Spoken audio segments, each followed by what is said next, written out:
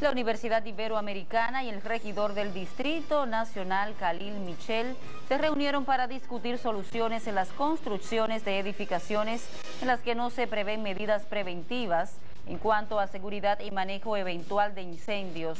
El regidor Michel organizó el panel Arquitectura Contemporánea contra Incendios, en la que también participaron el Cuerpo de Bomberos del Distrito Nacional y el Ministerio de Obras Públicas, entre otras instituciones. Contamos con una legislación que es bastante extensa y que es bastante atinada para el control y la prevención de los mismos. Sin embargo, vemos que aún con esta legislación que me refiero al reglamento R32 promulgado por el decreto 85-11, siguen existiendo los incendios. El regidor Khalil Michel indicó que el problema que impone el desafío de diseñar y construir una generación de edificaciones, tomando en cuenta la prevención y manejo de un eventual incendio.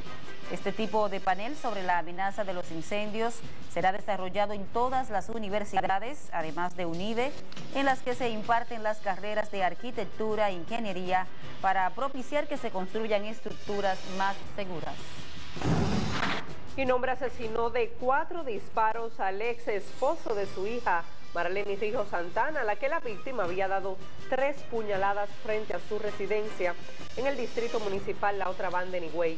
El muerto es Juan Dolores Mateo, de 33 años, quien recibió los cuatro balazos de parte de su ex suegro, solo identificado hasta ahora como Freddy Rijo, quien tras cometer el hecho se entregó a la policía.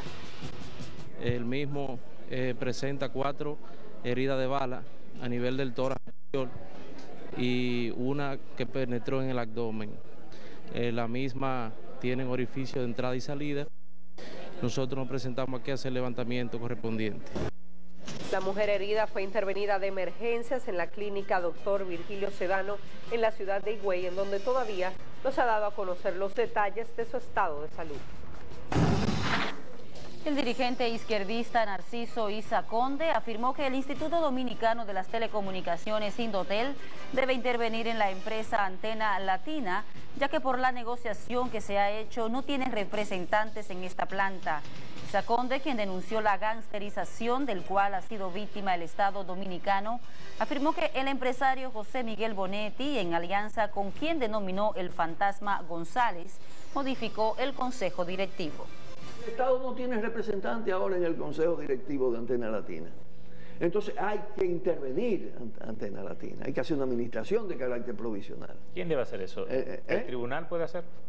El tribunal puede hacerlo, y lo puede hacer Indotel. Indotel ahora tiene la llave el dirigente político Narciso Isaconde presentará este viernes su libro Rearmando la utopía del neoliberalismo global al nuevo socialismo mundial, que narra la evolución de la crisis del sistema imperial, resistencia de la izquierda y de los movimientos sociales.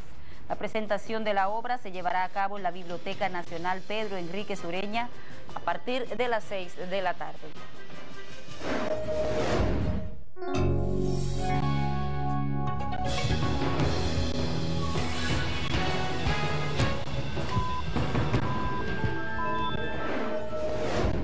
Interesante información en nuestro segmento del salud y es que el azúcar podría ayudar a los bebés prematuros. Yasmiri Rodríguez nos cuenta cómo y por qué. Una dosis de azúcar proporcionada en forma de gel que se frota en el interior de las mejillas es una forma barata y eficaz para proteger a los bebés prematuros contra los daños cerebrales, según han revelado expertos. Los niveles bajos de azúcar en la sangre afectan aproximadamente a uno de cada diez bebés que nacen antes de tiempo y si no se trata puede causar daño permanente. Investigadores de Nueva Zelanda probaron la terapia en 242 niños bajo su cuidado y basados en los resultados dicen que debería ser un tratamiento de primera línea. Un bebé prematuro es el que nace antes de las 37 semanas completas de embarazo, ya que un embarazo a término es de 40 semanas. El nacimiento prematuro ocurre entre el 6 y el 12% de los nacimientos en la mayoría de los países. Mientras más corto es el periodo del embarazo, más alto es el riesgo de las complicaciones. Yasmiri Rodríguez, Noticias Telemicro. Luego de la pausa, Cardenales y Tigres están celebrando haber ganado su división en las mayores. Y al regresar, entérese quién será el actor de telenovela que formará parte del elenco Lo Toman 3.